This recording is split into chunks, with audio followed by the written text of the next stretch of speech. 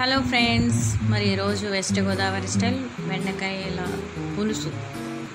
ఎలా చేస్తున్నాను చూసేసేయండి ఫ్రెండ్స్. ముందుగా బెండకాయలు కడిగేసిన తర్వాత సమానంగా ముక్కలు చేసుకుని కట్ చేసి పెట్టుకోవాలి. అలాగే ఒక ఆనియన్ మిర్చి టూ టమాటా కట్ చేసి పెట్టేశాను. అదేవిధంగా బాండి పెట్టేసుకొని స్టవ్ ఆన్ చేసేసి ఆయిల్ వేసేసుకుందాము. టూ స్పూన్స్ ఆయిల్ వేసిన తర్వాత అది కొంచెం వేడైన తర్వాత ముందుగా వెల్లుల్లిపాయలు అనేటివి మంచిగా దంచి వేసేసుకుందాము. వేసిన తర్వాత కొంచెం జీలకర్ర అలాగే ఎండుమిర్చి కొంచెం ఆవాలు కొంచెం మెంతులు తాలింపుకి ఏం వేసుకుంటే అవన్నీ వేసుకోవచ్చు. కరివేపాకు ఆనియన్ మిర్చి కూడా వేసేసి ఇది కొంచెం బాగా ఫ్రై అవ్వాలన్నమాట. ఇది ఫ్రై అయిన వేసుకుంటేనే టేస్టీగా ఉంటుంది అనమాట కొంచెం పసుపు కూడా వేసేసుకోండి. వేసిన తర్వాత ఇది కొంచెం ఫ్రై అయిపోయిన తర్వాత ముందుగా కట్ చేసి పెట్టుకున్న బెండకాయలు ముక్కల్ని వేసేసుకోండి. వేసిన తర్వాత అవి కొంచెం ఉడకాలి కాబట్టి నూనె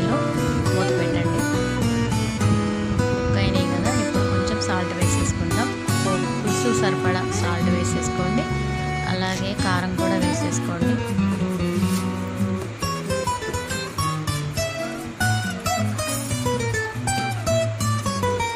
ఇప్పుడు వీలైతే కొంచెం పసుపు వేసుకోండి. ఇప్పుడు పసుపు వేయడం వల్ల యూజ్ ఏంటంటే బెండకాయ అనేది చిగురు రాకుండా ఉంటుంది. అలాగే కొంచెం అంత ధనియాలు జీలకర్ర పొడి వేసేసుకోండి. వేసుకున్న తర్వాత ఈ విధంగా బాగా కలిపేసి ఫ్రై చేసి పెట్టుకోవాలి. ఈలోపు మనం కొంచెం చింతపండు నానబెట్టి పెట్టేసుకుందాము. కూడా వేసేసుకుందాము. ఆ బెండకాయ ముక్కల్లో ఈ టమాటాలు కట్ చేసి వేసేసుకుందాం. వేసిన తర్వాత ఇప్పుడు ఇది కొంచెం ఫ్రై అయిన తర్వాత వాటర్ పోసేసుకోండి. ఒక ఫైవ్ మినిట్స్ ఉడికిన తర్వాత వాటర్ పోసేసి బాగా కలిపేసి పెట్టేసి మూత పెట్టేసేయండి.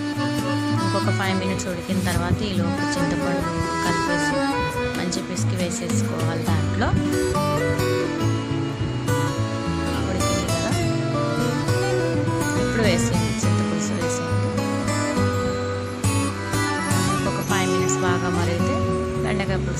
రెడీ అయిపోతుంది అంతే ఫ్రెండ్స్ మరి వెస్ట్ గోదావరి స్టైల్ బెండకాయ పులుసు ఈ విధంగా ఉంటుందన్నమాట.